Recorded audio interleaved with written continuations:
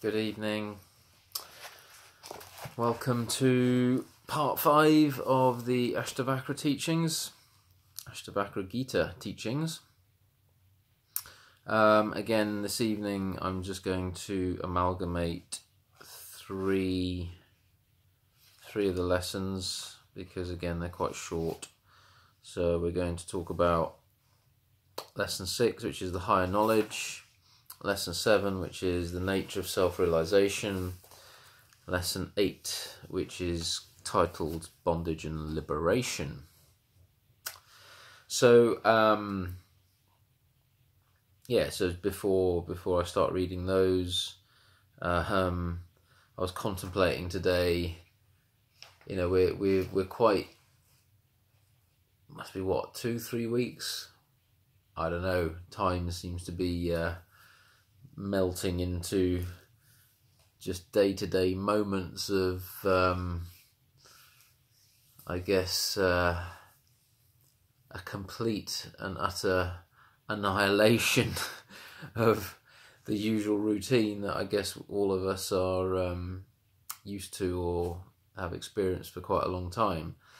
Um, and I guess that brings with it challenges, but also it brings opportunity, like everything does. You know, there's always two sides to a coin.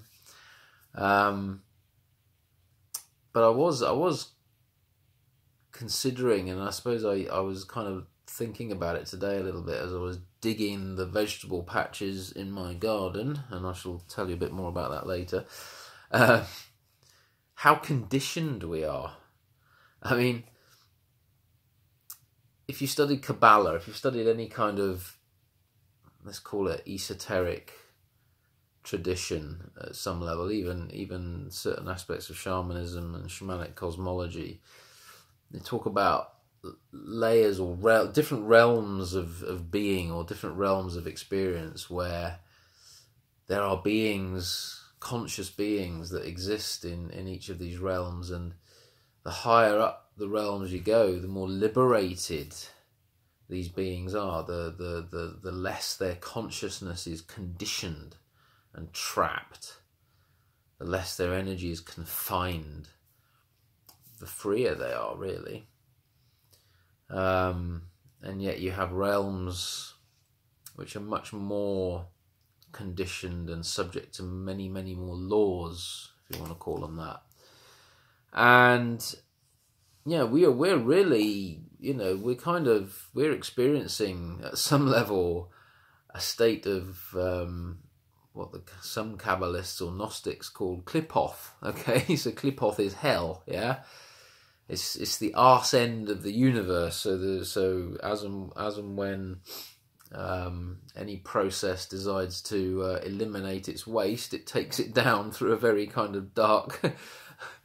um, and confining process. You know, even in the human body, the digestive tract and, and the colon is, isn't particularly pleasant.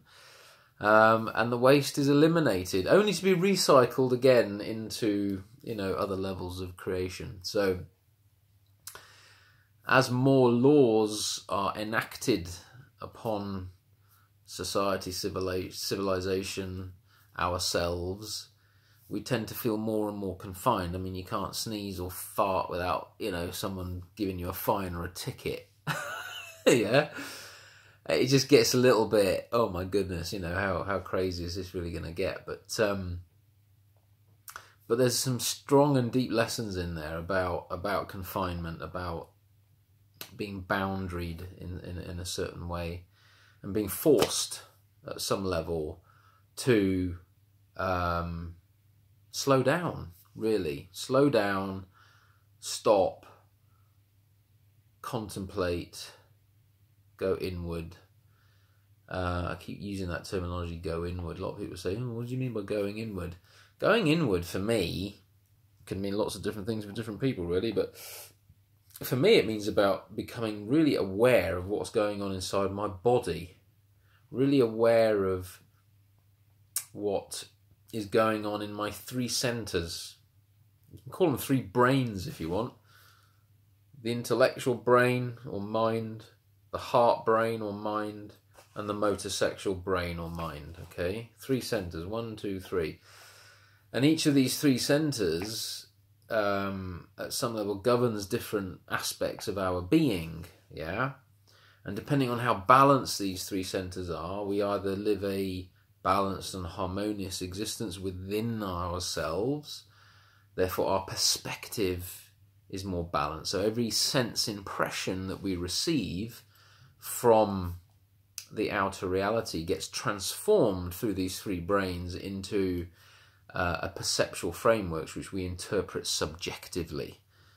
So, our subjective um, relationship with the objective universe, if you want to call it that, um, is governed by these three centers. And these three centers can either be very balanced or they can be out of balance. And the more conditioned we are through beliefs, attachments, environmental conditioning, um, upbringing, ancestral karma, goodness knows what other crazy conditioning we, we undergo as a as a as a thinking humanoid on this on this planet. Um, the more these three brains can't see clearly, or rather, the more conditioned we are, the more filters we have in front of us to allow or rather that, that block the clarity, the objective clarity of of what we interpret, really, what our senses interpret and how they interpret and how our perceptual framework imprints our reality. You know, it's quite deep to, to really think about it, but when you're in a state of semi confinement, let's call it open prison, right? Um, you you really start to understand where and how you've been conditioned because where you say you've been attached to going to work every day in a certain career and you don't do that anymore, or where you've done certain things in a certain way, or where you've spent certain amounts of time with certain people and now you're forced to spend time with other people, you you really start to get rattled a little bit. You start to you, the, the the conditioning that you've you've been programmed with starts to get, I suppose, uh, at some level, dismantled. And this dismantling process is is actually quite good because it shows us where we've imprisoned ourselves at some level and, and at multiple levels um, within our three centers. So where the the intellectual center um, overthinks situations, where the heart center over emotes situations, and where the motor sexual center um, overactivates our physical movements um, or underactivates them, depending on the situations we're in. They can show us a little bit where we're out of balance um, but also where we've been conditioned a certain way. So when when we're taken out of that conditioned framework, what are we? Everything that you're used to, that you've identified with, that your three brains have been used to engaging with in a certain way, is now flipped. So, what do you become when you're challenged like that? How does that how does that center feel right? Does it get over emotional? You know, are the emotions so strong that you can't control them? Okay? Are you, is there so much consciousness trapped in a certain condition to keep that center stable, right? That when that condition is altered or taken away or changed, yeah, how much of your energy are you giving to that emotional world? Okay? How much of you how much of your overthinking is draining your energy? Okay? Lots of conspiracy theories out there at the moment. Yeah? Not saying some of them are, might not be true or might be true, I don't know. Who knows, eh? Um, if you're overthinking everything, if you're digging too deep into these rabbit holes, again, you know, whether these things are true or not, you're you're starting to condition your consciousness into these tunnels, which can take you a very very long way down, and steal a lot of your power, steal a lot of your energy. When you're not moving enough, or where whether or if you're moving too much, or if you've been used to moving all the time, going to the gym, doing exercise, playing sport, all this kind of stuff, you're a highly energetic person. Now you're you're locked away in your home, or you're locked at some level in your home garden, and then your trip to Tesco's or wherever you go shopping. You can't go to the gym. You can't play rugby on a Sunday morning. You can't you can't do what you normally do. You're you're either running, walking, or cycling. Yeah. If you haven't got a bike, you're running or walking. If you can't be asked to run, you're walking yeah. And if you don't enjoy walking, you're sat on your sofa, and that can get frustrating because that motor sec- that motor center, you know, where it used to maybe transform energy by all these activities, needs to figure out a different way of transforming the energy now. So yeah, it's it's a it's a difficult situation, and and and and how we're conditioned obviously affects the perception we have on our surroundings and of of the people that surround us. So let's be aware. You know, self knowledge is about becoming aware of our own conditioning, our own shadow nature, our own wounds that get triggered during states of confinement and states of challenge. Uh, and it's yeah, it can be a pretty tough gig at times. Sometimes it, it you know it's it's an absolute blessing. You know, I'm, I am personally. This is this is heaven for me. but I'm generally quite happy in my own company. You know, I'm not. Uh, I used to be quite an extrovert in my younger years, but uh, as life has kicked me in the ass too many times, I, I, I feel very comfortable in my own skin now and uh, relish every opportunity I get to just to be with myself, and that's great. Um, so today I was digging my garden because uh, obviously the apocalypse is coming. Life as we know it won't won't be the same anymore. So we've all got to grow vegetables now, okay, and start to feed ourselves from our gardens. But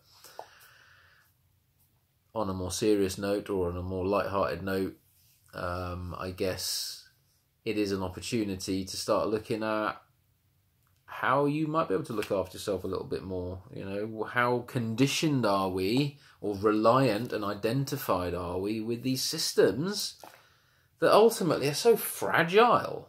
You know, Tesco's, Sainsbury's, Asda's, Marks and Spencer's. You know, wherever you go and do your shopping, wherever you go and do your hunting and gathering, right? If those things stop, if those things can't provide what you need anymore for whatever reason, what are you going to do then? Yeah? What are you going to do then?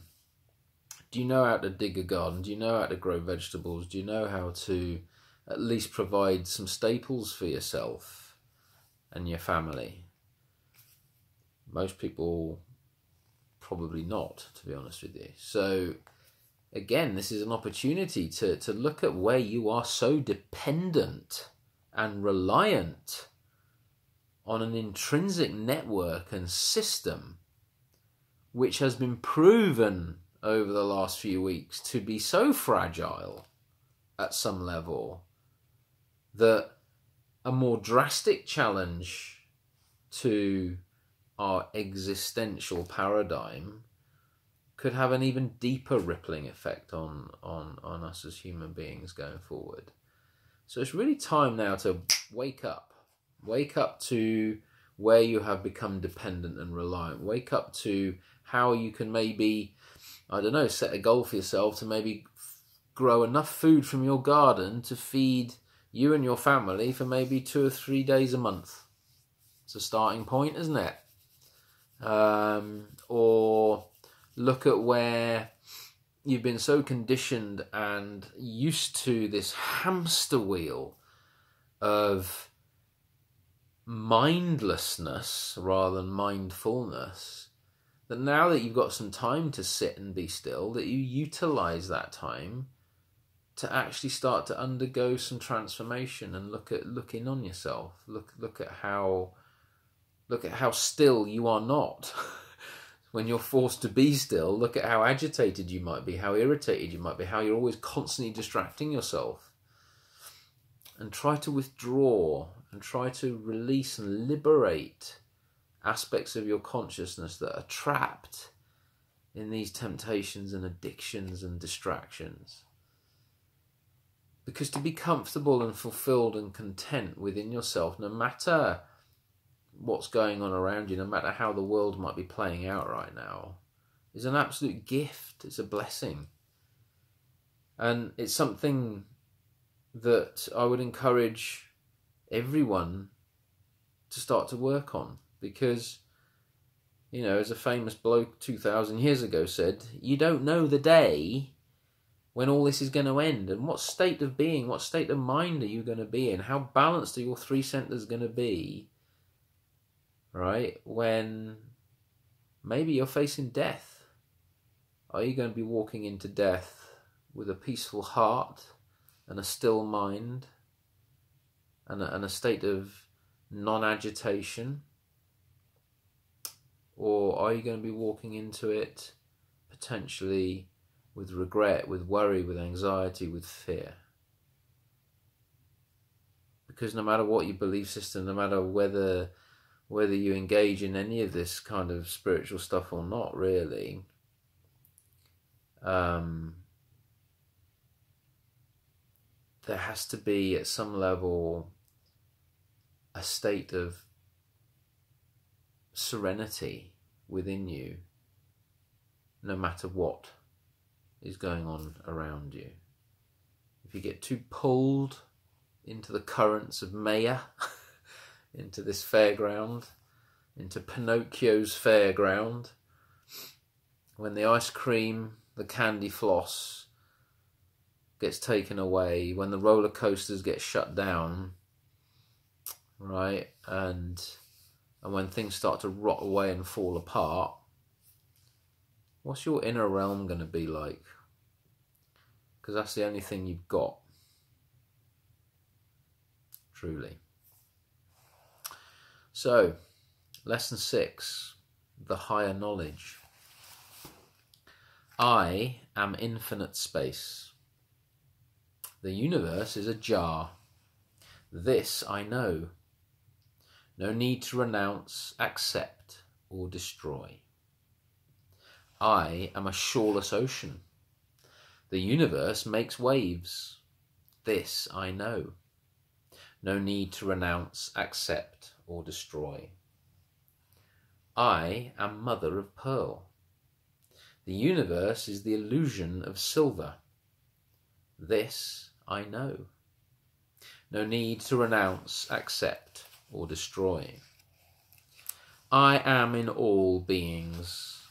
All beings are in me. This I know. No need to renounce, accept, or destroy. Lesson number seven The nature of self realization. And Janaka said, In me, the shoreless ocean, the ark of universe drifts here and there on the winds of its nature. I am not impatient. In me, the shoreless ocean, let the waves of the universe rise and fall as they will.